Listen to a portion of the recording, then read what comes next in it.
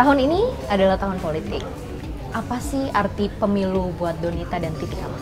Kalau buat aku sih ya ini apa ya? Ini salah satu kesempatan buat semua yang punya harapan baru, baik itu harapan untuk lebih baik, yang sudah merasa baik bisa lebih baik, atau mungkin uh, ini saatnya kita menentukan negara kita mau dibawa ke mana kalau menurut aku gitu. Tapi aku tuh kurang suka sama sesuatu yang terlalu terlalu uh, apa ya fanatik gitu ya. Karena jatuhnya jadi provokatif gitu biasanya. Jadinya debat apa segala macam. Sementara menurut aku setiap orang itu berhak berpendapat setiap orang itu berhak untuk memilih dan semua orang itu berhak menilai siapa yang lebih baik menurut dia gitu. Kalau buat Titi Kamal? Sama sih sebenarnya sama Donita gitu. Uh, apa pun itu siapa pun presidennya yang penting menuju Indonesia yang uh, lebih baik lagi baik gitu sih dan kalau bisa pemilu berjalan dengan aman, tentram dan damai gitu sih. Amin, amin lagi. Ngomong-ngomong tentang pemilu kan banyak banget nih artis yang nyalek. Gimana sih tanggapannya dan tertarik nggak? Sah-sah aja sih kalau mereka ingin nyalek. Mungkin kan punya visi dan misi sendiri gitu. Tujuannya seperti apa? Kan uh, tetap untuk menuju perbaikan untuk Indonesia gitu. Tapi kalau untuk tertarik nyalek kayaknya enggak sih aku. Belum belum. Kalau Donita gimana?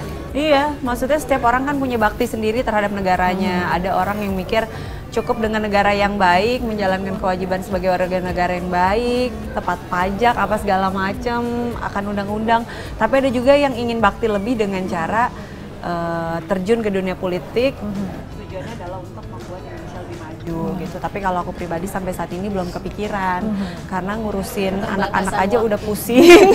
Apalagi ngurusin, Apalagi ngurusin negara. orang lain dan negara. Ngomong-ngomong tentang uh, pemilu dan nanti pertengahan bulan nanti kita akan memiliki presiden baru nih.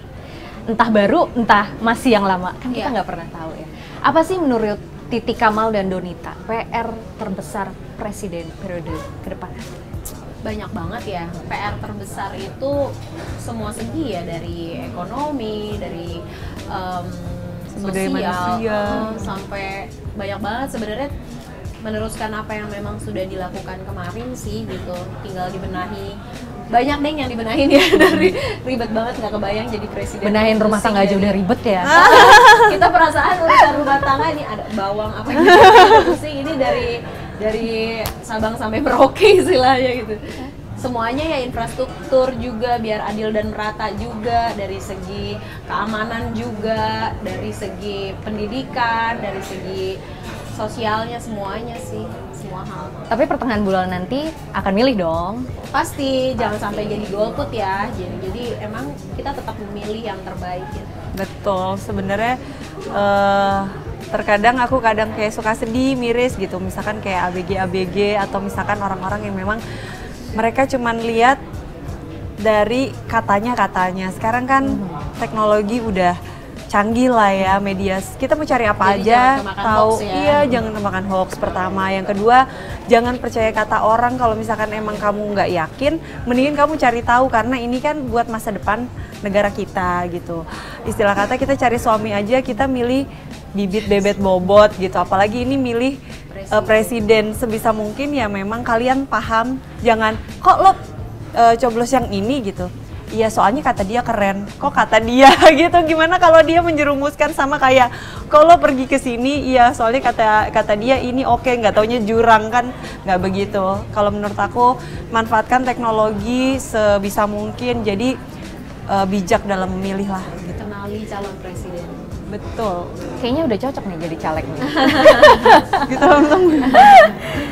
Sekarang kita masuk dalam segmen satu kata politik. Nanti aku akan nanya mengenai uh, satu kata dan dijawab cepat. Nanti aku akan tanya. Waduh, apa tuh? Ke Titi Kamal atau ke Donita. Dalam satu detik ya? Hah? Belum pernah Gue ya stres kalau yang soal gitu gue malah jadi nggak bisa jawab loh. Siap. Untuk Titi Kamal, satu kata untuk golput. No. Sip. Donita, satu kata tentang caleg artis. Oke. Okay. Oke. Okay. okay. Satu kata tentang Jokowi. Bagus, baik. Donita. Bagus. Gimana Nggak ya? Kayaknya harus Iya, iya. korek nih Gitu. bener-bener rahasia tau gak? Satu kata tentang Prabowo. Menarik. Tegas mungkin. Yes, oke. Terima kasih. Kita berikan tepuk tangan dong. Ini bayaran nggak pada kerja nih. Soalnya ini kalau salah-salah ya, kalau salah-salah tiba-tiba nanti satu dua, oh satu, oh dua, oh satu, oh dua, oh tidak jawabannya. Oh, Donita satu dua gitu kan? ya? Satu maksudnya, oh titik ini satu ya, oh ini dua ya, kayaknya pusing banget. Ada satu lagi nih, kita punya quick question, last session. Untuk Oke. Titik Kama, jadi pemain film atau pengusaha? Pemain film. Kutub Utara atau Gurun Sahara? Kutub Utara. Suami atau anak? Anak. Kenapa anak? Apa? Ya nggak tahu tiba-tiba ngomongin Tiba-tiba ngomongnya anak. Kulineran atau camping? Eh, kulineran. Sepatu atau tas? Tas. High heels atau flat shoes? Flat shoes. Padahal pakai heels. Dinyinyirin netizen atau diomelin suami? Maksudnya mending yang mana? Iya. Eh, dinyinyirin netizen. Hore, berikan tepuk tangan lagi dong. Untuk Donita, pemain film atau penyanyi? Presenter. Jeng jeng jeng jeng. Oh gitu ya.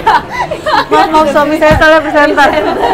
Nanti kalau saya pilih salah satu itu ya? salah. Oke. Ya. Ibu rumah tangga atau pekerja? Rumah tangga. Sepatu atau berlian? Berlian. Berlian. High heels atau flat shoes? High heels. Antagonis atau protagonis? Protagonis. Ore, terima kasih atas waktunya titik awal dari you. kita. Kalian perbincangan kita di antara kita. Sampai bertemu di episode selanjutnya. guys.